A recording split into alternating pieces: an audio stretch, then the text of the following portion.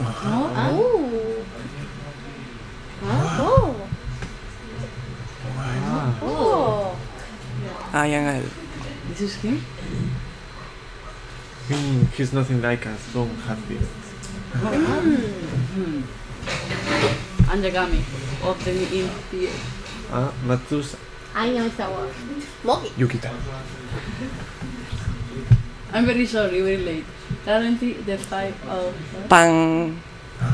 What the hell was that? Hmm. If I were Kira, you'd be dead.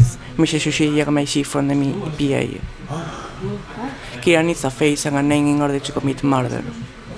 But I'm sure you've already figured that much out, haven't you? Please do not give out your name so carefully.